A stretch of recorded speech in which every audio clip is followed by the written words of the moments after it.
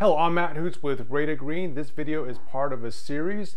The rest of the videos with titles and links to the other videos are in the description below.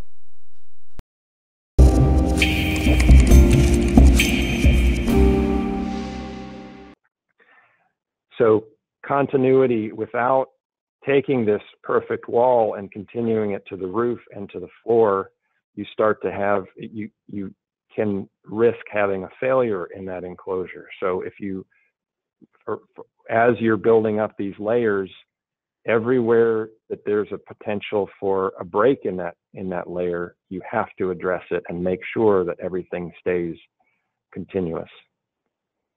Uh, this is so the perf, here we are with the, those control layers shown, and this is just a schematic of what I'm talking about, the wall, the roof, and the floor, all being continuous and wrapping the entire structure like an igloo, um, like a cooler. You have, this is our, this is our perfect, perfect assembly. Uh, this diagram on to the right here is from a project that we are finishing up building right now um, here in Atlanta. That uh, we've got seven inches of of uh, stone wool on the roof and four inches on the exterior on the walls.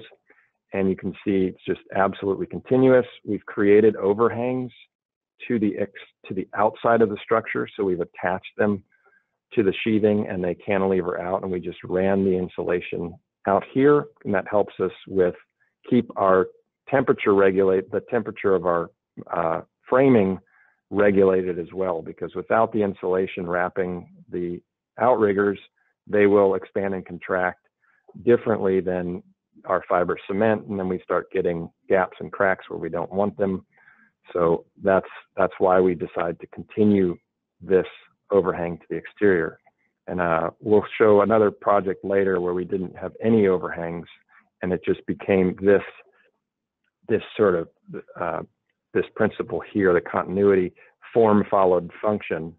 So the function is keeping the insulation continuous, and then the form of the building uh, was was informed by this uh, function. So I'm I, I'm not a I'm not going to be I'm not going to feel bad about mentioning airtightness over and over again. It is it is just absolutely critical.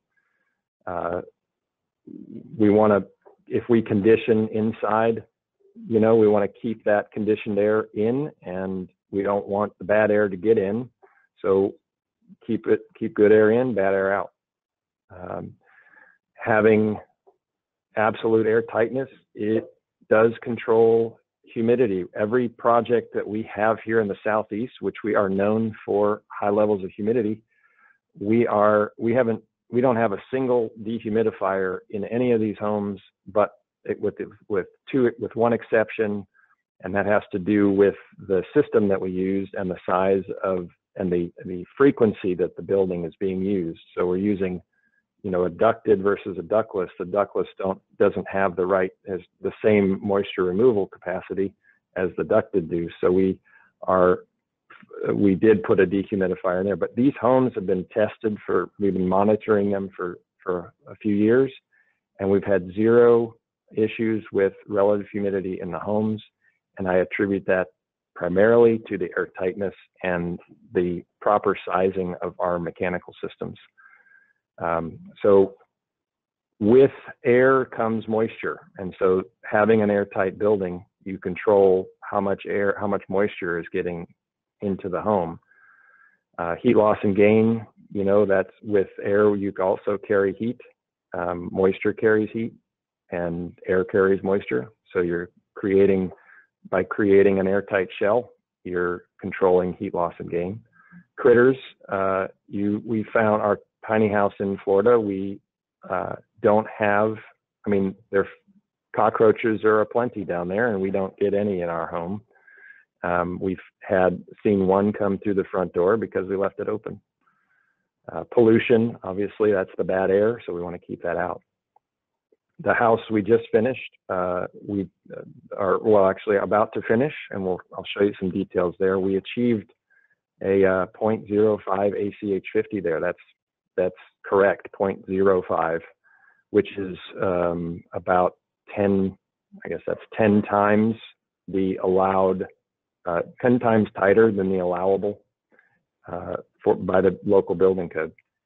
And this this house right now we've got a small dehumidifier running in there and yesterday was super high humidity so it's pretty warm.